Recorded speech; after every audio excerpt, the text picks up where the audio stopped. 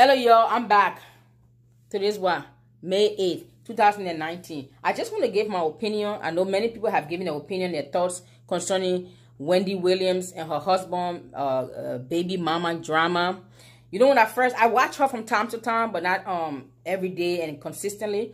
But when I first stumbled across her channel on T her program once, honestly, my honest opinion, I'm not throwing any shades. I'm just being honest and keeping it real because Wendy likes to keep it real. So I'm going to keep it real, girl. Honestly, when I first came across her channel, I was like, what is this? Is this, is this another RuPaul? Why can't these men just stay in their own lane and just be men? Honestly, I thought that's what she was, like a drag queen, like a RuPaul. I'm not throwing shades. So I just flick it off. Then I think a few months later, I was flipping through the channel again. I stumbled across her and she was talking about her son and her husband. I said, wait, he has a son and a husband. And I listen, listen. I said, oh, so that's a woman. But she just looked like a drag. Honestly, I thought she was.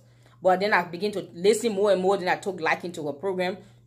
I don't watch the entire program from beginning to end, but I do skip through and watch from time to time. Yes, I know you're going to say, oh, you're not holy. Well, that's your problem. Anyway, I do watch her program. Now, I'm really trying to make this video to make a point that as I've listened to some of the videos about the issue with her marital issues, and some people say, you know, Eh, that she's very, she's, she's come across very mean and tough, and sometimes she is, but I think because she gave it so, she make it, she speak her mind, and she make it so real, or she keeping it real, so many people think that's being mean because we live in a society, everybody wants to be PC.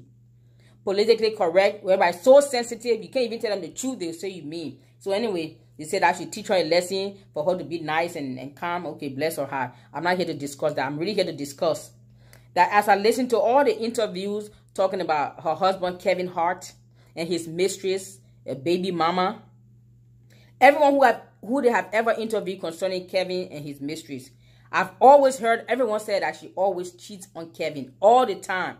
That she been cheating on him forever. But what he expect? First of all, what do you expect? He's with his wife for 20 something years. he got his, they call it side chick for 10 years or so. And he expect his side chick to be faithful to him. My really issue, my problem with this video is, if Kevin has any sense, I will advise him to do some DNA test to make sure that baby is his. I'm just saying. I ain't throwing no shades. If if everyone who have all the interview I've ever heard or saw on YouTube about Kevin's Hart side chick, Kevin Hart is Wendy's husband or soon to be ex-husband. And he had him and Wendy be married for 20 something years. And he had his girlfriend on the side for 10 years or so. And she supposedly just gave birth. But everyone who ever who knows them says that she has always cheated on Kevin. So if she have always been somebody who cheated on him, why is he so dumb to think that baby is his? If he has any sense, Kevin, I'm gonna advise you, dude, get a DNA test. You gonna find out if that baby is yours or it ain't. Uh -huh. And if it ain't, you know, lost a wonderful, beautiful, sweet sister, a woman who created, had a career and put you in the in the spotlight, gave you a job.